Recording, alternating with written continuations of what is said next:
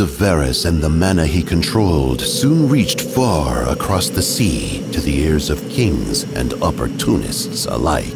They besieged him from all sides. After many years of bloodshed, Varus was facing defeat. The voice called out to him once more, and Varus accepted the demon's pact. Terrible power at a terrible price. With the gift of Cadral, Varus crushed his enemies, driving them from his home. His thirst for vengeance unsated, he pursued his enemies across the sea, raining terror across the eastern kingdoms for centuries.